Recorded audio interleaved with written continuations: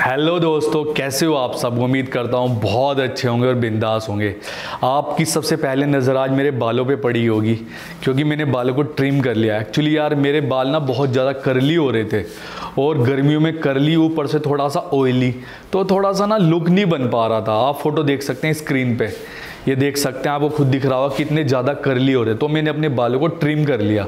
Trim तो किया था मैंने एक नंबर से, लेकिन 10-12 दिन पहले किया था, इसलिए थोड़े बाल मेरे बड़े हो गए।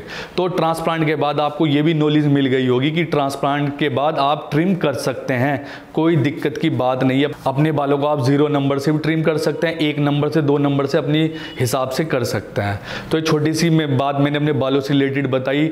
आज की हमारी जो जर्नी है, वो बहुत ही ज़बरदस्त रिज़ल्ट आया पेशेंट का। और उनका रिज़ल्ट सिर्फ़ नौ महीने का। आप नौ महीने में देख सकते हैं कि उसका रिज़ल्ट कितना फास्ट आया और कितना अच्छा आया। और अगर आप हमारे चैनल पर पहली बार आए तो प्लीज़ चैनल को सब्सक्राइब कर देना वीडियो पसंद लाइक कर देना और शेयर कर देना। सबसे पहले आप हमारे पेशेंट की कंडीशन देखिए बिफोर कंडीशन ये थी। इनकी जो बार्डनेस का ग्रेड था, वो थ्री ग्रेड था। आप इसको फोर भी बोल सकते हैं, लेकिन मैं इसको थ्री बोलूँगा। थ्री ग्रेड की बार्डनेस थी इनकी हेडलाइन पूरी रिसीड हो गई थी और इनको हेयर ट्रांसप्लांट की नीड थी। ये एक ऐसी सिचुएशन होती है, बंदा का जो कॉन्फिडेंस है, बहुत ज़्यादा लो हो जाता है, लोगों को फेस करने में डरता है, शादी पार्टी जाने में हमेशा मतलब हिचकिचाहट होती है। और जब भी किसी से मिलते हैं तो अगर सामने वाले बंदे ने उसके बालों पर नज़र डाल दी तो उसका कॉन्फिडेंस बिल्कुल एकदम ज़ीरो हो जाता है, ख़त्म हो जाता है। तो इन्होंने, इनके साथ भी ये चीज़ें हो रही थी तो इन्होंने अपना हेयर ट्रांसप्लांट कराने का डिसीज़न लिया। और तो इनका कुछ ऐसा हेयर ट्रांसप्लांट हुआ, आप देख सकते हैं।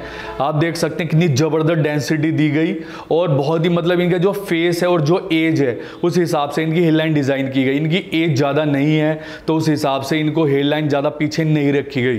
थोड़ी आगे रखी गई है।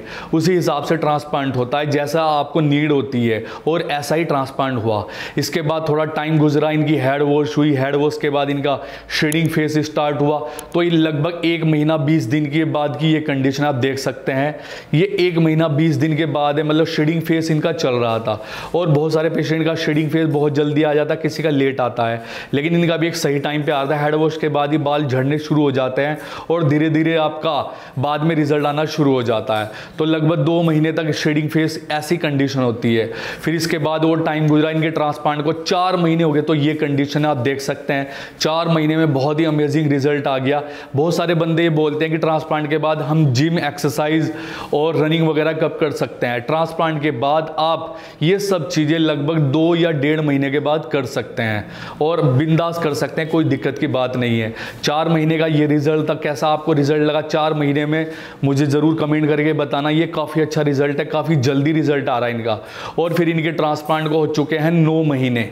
नौ महीने का ये रिज़ल्ट आप देख सकते हैं, एकदम ज़बरदस्त लुक बन गया। बहुत ही ज़बरदस्त आप बिफोर देखिए और आफ्टर देखिए। नौ महीने में कितना फ़र्क आ गया। बल्कि आप वीडियो में देखिए। मेरा नाम संभव कुमार हुआ मैं बिहार बिहार से भागलपुर ज़िले से आया हुआ हूँ। और मैं अपने ट्रांसप्लांट से पूरा खुश हूँ। हाँ पहले मैं इधर उधर जाने में भी शर्म करता था, टोपी पहनता था इधर उधर कैप लगा के जाता था, शादी सब अटेंड नहीं करता था। जैसे शादी में जाता था तो कोना में बैठा रहता था। अब मैं खुला होके जाता हूँ, जहाँ मन होता है घूमता हूँ। मेरा बाल भी बहुत अच्छा आया है। मैं हेयर फॉल लगभग पचास, साठ, सत्तर, ऐसे कंघी करता था तो हमेशा हेयर फॉल होता था। दस, बीस, तीस ऐसे। शैम्पू जब करता था तो बहुत ज़्यादा हेयर फॉल होने लगा था। तो बहुत ज़्यादा मेरे बाल झड़ गए थे तो मैं सोचा कि ट्रांसप्लांट ही करा लेता हूँ। और मेरा उम्र भी बहुत ज़्यादा लगता था। मेरा उम्र अभी ट्वेंटी फोर हो रहा है, लेकिन मैं लगता था तीस पैंतीस छत्तीस साल का।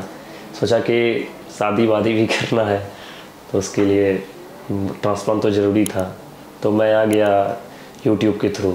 पहले लगा था कि यार ये, वो ये, वो, फिर जब करने लगा तो कोई दर्द का भी पता नहीं चला। और बीच बीच में जब कुछ होता था तो डॉक्टर सब पूछते थे कि कुछ हो नहीं रहा है, ये, वो। ऐसे कोई डरने की बात नहीं है, बेस्ट सर्जरी है। और आप देख ही रहे हैं कितना अच्छा रिज़ल्ट है। पहले मेरे ऐसे बाल थे नहीं, अब देखिए आप लोग। डोनर एरिया में थोड़ा लग रहा था कि डोनर एरिया, लेकिन अभी तो ठीक है, आप देख लीजिए। तो आपने वीडियो में देखा, इन्होंने अपना एक्सपीरियंस शेयर किया। इनके ट्रांसप्लांट में मतलब इनका रिज़ल्ट कैसा है, ये कितने हैप्पी है, सब इन्होंने अपनी जबानी बताया। तो आप भी अगर इसी क्लिनिक में अपना हेयर ट्रांसप्लांट कराना चाहते हैं तो आप मुझे व्हाट्सअप पे कांटेक्ट कर सकते हैं। मैं आपको इस क्लिनिक के बारे में सब कुछ बता दूँगा। आप कुछ भी जानना चाहे, आपको सारी डिटेल मिल जाएगी। सिर्फ़ आपको मुझसे कॉन्टैक्ट करना है।